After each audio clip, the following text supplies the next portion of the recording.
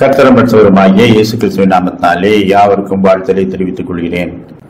ஒரு பெரிய கூல்ட்ரிங்க்ஸ் தயாரிக்கும் தொழிற்சாலையின் முதலாளி அருகில் இருக்கும் ஒரு அகதிகள் முகாமில் வசிப்பவர்களுக்கு நாம் கொஞ்சம் குளிர்பானங்களை கொடுத்து அனுப்புவோம் என்று சொல்லி பெரிய அண்டாக்களிலே குளிர்பானங்களை கொடுத்து அனுப்பினார். அப்படியே அந்த அகதிகள் முகாமிலே பசியினால் தவிக்கும் மக்களுக்கு நாங்கள் குளிர்பானங்கள் கொடுக்கிறோம் என்று சொல்லி எல்லாரும் அவர்கள் ஒரு பாத்திரத்தை எடுத்து வாருங்கள். ரெண்டு லிட்டர் அளவுக்கு நாங்கள் குளிர்பானங்களை தருகிறோம் என்று சொல்லி சில ஊழியர்கள் சென்று அகதிகள் கொண்டு வரும் அந்த பாத்திரங்களிலே ரெண்டு ரெண்டு லிட்டர் அவர்கள் குளிர்பானங்களை கொடுத்தார்கள். அதையெல்லாம் அவர்கள் வாங்கி சொல்லும்போது ஒரு சிறுவன் என்னிடத்திலே ரெண்டு லிட்டருக்கான பாத்திரம் இல்லை.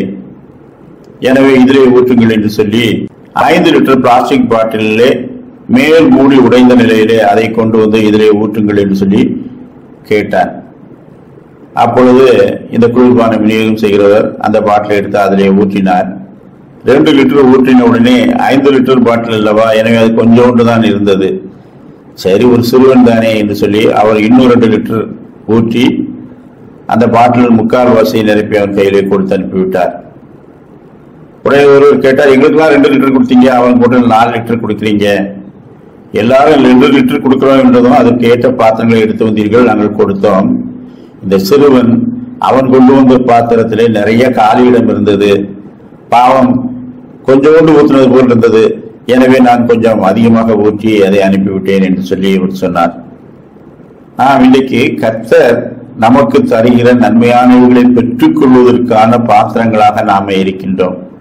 நாம் ஆயத்தமுள்ளவர்களாக இருந்தால் அதிகம் கேட்டால் அதிகம் அவர்களை பெற்றுக் கொள்வோம் சங்கீதம் எண்பத்தி ஒன்று பத்து உன்னை எகிப்து தேசத்திலிருந்து புறப்பட பண்ணின உன் தேவனாகிய கர்த்தர் நானே உன் வாயை விரிவாய் நான் அதை நிரப்புவேன் என்றார். அதன் பொருள் ஆண் வாயை திறப்பதல்ல. வாயை திறந்து கர்த்தரை துதிப்பது அவருடைய மகத்துவமான நாமத்தை சொல்லி வருவது அதைத்தான் ஆண்டவர் சொல்லுகின்றார்.